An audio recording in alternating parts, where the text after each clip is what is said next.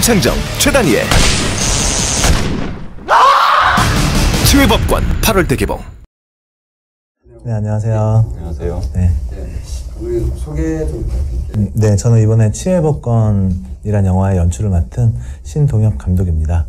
네, 반갑습니다. 네, 촬영한 김은광이라고 합니다. 예, 반갑습니다. 이번 작품에서 그 공모자들에 나왔던 임창정 씨와 최다니엘 커플이 다시 한번 나오는데요.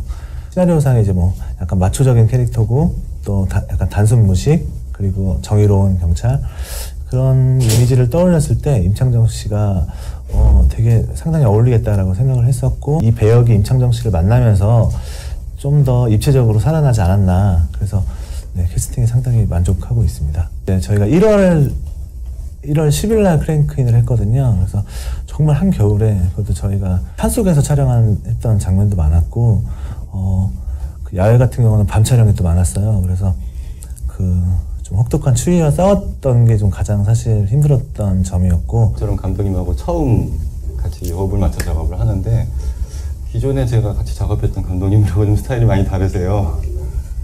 감성적으로 굉장히 좀 여린 감성을 가지고 있지만 자기가 챙길 거 뽑아 먹을 거는 다 챙겨가는 사람이더라고요.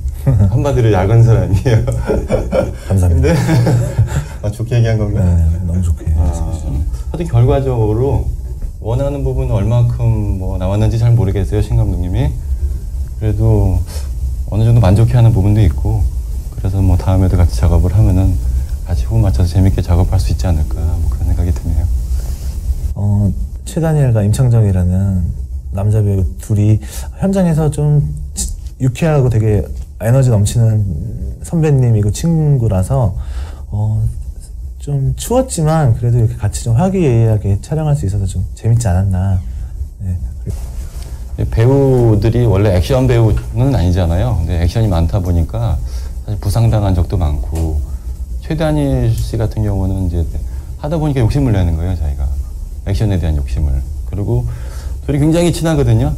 임창정과 최다니엘 배우 굉장히 친한데도 촬영하다 보니까 묘하게 겨- 경쟁 관계 이런 게 생기더라고요.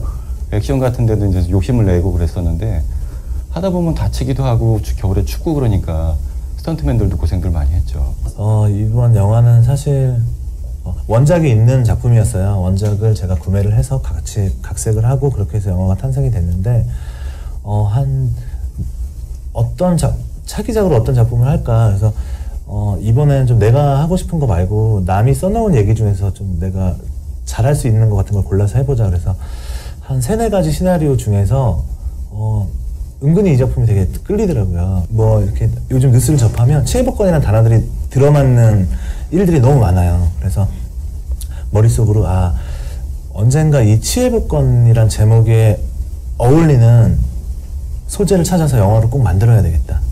이 치해복권이라는 제목을 내가 꼭 영화로 써, 써먹어야겠다라고 생각하던 차에 이 책을 만났고 지금 사실 하고 싶은 거는 어, 관객들에게 재미를 줄 수 있는 그런 영화라면 장르를 가리지 않고 만들고 싶어요. 공포가 됐든 코미디가 됐든 사실 영화를 처음 시작하게 된 계기가 그 상륙 영화들을 보면서 어, 이렇게 꿈과 희망을 가지고 아 나도 이렇게 좀 통쾌한 영화를 만들고 싶다.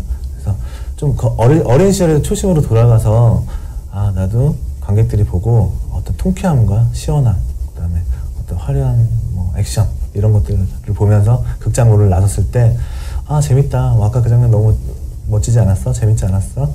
이렇게 좀 보고 나올 수 있는 그런 영화가 됐으면 좋겠고요. 또 요즘 좀 이제 답답한 어떤 사회적인 문제들 이슈들이 많은데 영화를 보면서 잠시라도 좀 그런 문제들을 잊- 잊었으면 좋겠어요. 그래서 음, 통쾌하고 재미난 영화로 좀 즐기, 즐겨주셨으면 좋겠습니다.